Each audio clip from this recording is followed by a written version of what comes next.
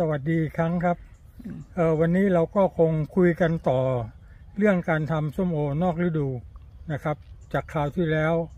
คราวที่แล้วเราทบทวนนิดหนึ่งคราวที่แล้วเนี่ยวิธีการทำส้มนอกฤดูเนี่ยเราก็จำเป็นจะต้องตัดแต่งกิ่ง เพื่อให้ต้นโปร่งแล้วก็ต้นสมบูรณ์ แล้วก็ต้นสามารถที่จะสะสมอาหารได้ จากใบ ที่กินอาหารฟรีๆนะครับใบที่กินอาหารฟรีๆแปลว่าใบที่กินอาหารฟรีๆโดยไม่สร้างอาหารอย่างนี้เราตัดพวกนี้ออกต้นก็จะสมบูรณ์ แล้วมีใบทุกใบที่สร้างอาหาร เมื่อสร้างอาหารเนี่ยเขาก็จะสะสมอาหารพวกนี้เอาไว้เพื่อการออกดอก อันนี้เป็นวิธีการทำส้มนอกฤดูแต่นี้การตัดแต่งกิ่งเนี่ยมีประโยชน์มากสำหรับ การทำส้มนอกฤดู หรือการทำส้มในฤดูกาลครั้งต่อไปเพราะเนื่องจากว่าไม่มีใบที่เป็นเอ่อเขาเรียกกระปากแฝงถ้าจะสุวัสด์บอกว่าใบที่กินฟรีเนี่ยคือประเภทกระปากแฝงคือกินอาหารฟรีๆแล้วไม่สร้างอาหารนะครับแต่นนี้เราตัดพวกนี้ออกไปปุ๊บก็แปลว่ามีใบทั้งต้นเนี่ยเป็นใบที่สร้างอาหาร เมื่อใบสร้างอาหารทั้งหมดเนี่ยก็แปลว่าอาหารที่สร้างขึ้นมาเนี่ย สามารถที่จะไปเลี้ยงต้น แล้วก็เป็นอาหารสะสม แล้วก็ไปสร้างการเจริญเติบโตให้กับต้นด้วย ก็แปลว่า อาหารที่ใบสร้างขึ้นมาเนี่ยใช้ประโยชน์ได้ทั้งหมด ไม่เสียหาย ไม่ไม่เสียฟรีๆไปกับใบ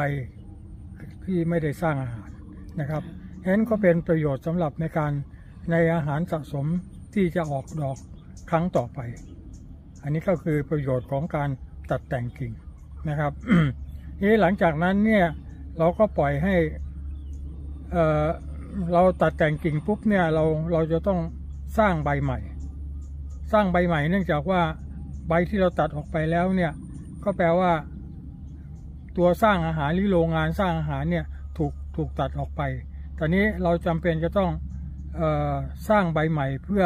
ให้ใบใหม่เนี่ยเป็นตัวสร้างอาหาร นับหนึ่งใหม่ตอนนี้วิธีการก็คือเราจะต้องใส่ปุ๋ยที่มีธาตุอาหารตัวหน้าสูง เช่น 413 เลโชของปุ๋ยเท่ากับ 413ครับเพราะตัว 4 ตัวแรกเนี่ยคือ N ตัว 2 คือตัว P 1ตัวท้ายคือตัว 3 สูตรเนี่ยเป็นตัวที่จะทำให้พืชแตกใบอ่อน เมื่อพืชแตกใบอ่อนรอจนพืชเนี่ยรอจนพืชหรือรอจนส้มเนี่ย มีใบเขาเรียกใบเพสลาดใบที่ออกใหม่ ๆ เนี่ยใบเป็นใบอ่อนนะครับ ลักษณะใบอ่อนเนี่ยเราให้ดูอย่างนี้นะครับ เนี่ยอย่างเงี้ยเขาเรียกใบอ่อน พอใบใหญ่ขึ้นเนี่ย ใบใหญ่ขึ้นเนี่ยค่ะเขาเรียกใบเพสลาดไอ้เจ้าใบอ่อนเนี่ยมันยังไม่สร้างอาหารค่ะ ไม่สร้างอาหารแปลว่ากินอาหารอย่างเดียวค่ะพอใบเขาขยายใหญ่ขึ้น เป็นใบเขียวอ่อนแล้วก็ใบใบใหญ่ขึ้นอย่างเนี้ยค่ะเขาก็จะเริ่มสร้างอาหารค่ะนะครับตัวนี้ เมื่อเราใส่ธาตุอาหารที่เรียกว่าเลโชเท่ากับ 413 ไปแล้ว เมื่อเขาแตกใบอ่อนปุ๊บรอจนเขาใบเพสลาด ใบเพสลาดแปลว่าใบที่เริ่มสร้างอาหาร ใบที่อ่อนออกใหม่ แปลว่าใบกินอาหารอย่างเดียวอ๋อไม่สร้างค่ะเพราะงั้นเมื่อใบเพสลาดแปลว่า เริ่มสร้างอาหาร เราก็เปลี่ยนสูตรปุ๋ยใหม่เป็น เป็นปุ๋ยสูตรที่เขาเรียกสะสมอาหาร โดยใช้ปุ๋ยเลโช หนึ่งหนึ่งสี่คือใช้ N หนึ่งใช้ P หนึ่งแล้วก็ใช้ K สี่ฉะนั้นตัว K เยอะเนี่ยเป็นตัวสร้างแป้งและน้ำตาลเยอะเพื่อสะสมไว้เป็นอาหารสะสมในการออกดอกนะครับ แล้วก็รอจนฝ่าใบจะเขียวเข้ม อันนี้อันนี้เป็นเขียวแบบเกสลาดต่อไปเนี่ยใบจะเป็นใบเขียวเข้มสลับนะค่ะใบเขียวเข้ม ประมาณนี้อ่าประมาณเนี้ยค่ะเขียวเข้มอย่างเนี้ยค่ะ รอจนใบเขียวเข้มเนี่ยใช้เวลาประมาณสองอาทิตย์ค่ะใบก็จะเขียวเข้ม แล้วหลังจากนั้นเนี่ยแปลว่าใบเขียวเข้มเนี่ยแสดงให้เราเห็นว่า ใบเนี่ยได้สะสมอาหารไว้มากพอค่ะที่จะออกดอกติดผลนะครับ รอจนฝ่าใบจะเขียวเข้ม แล้วก็เปิดตาดอกด้วยสูตรปุ๋ยใหม่อ่าสูตรเปิดตาดอกเราใช้ปุ๋ยสูตรทางใบ 13046 นะครับ 13046 บวกแคลเซียมโบรอน บวกน้ำตาลทรายนะครับ อันนี้หลักๆเลย ปุ๋ยสูตร 13046 บวกน้ำตาลทราย บวกแคลเซียมโบรอนเพื่อกันเพื่อทำให้ขั้วเหนียวขึ้น แล้วก็ฉีดเปิดตาดอก เราใช้แค่นี้ก็เพียงพอนะครับ ฉีดหนึ่งครั้งหลังจากนั้นประมาณ ไม่เกินสองอาทิตย์เขาก็จะเริ่มออกดอก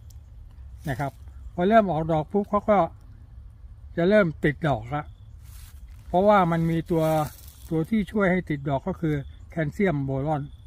นะครับ แล้วตัวที่เเป็นตัวสร้าง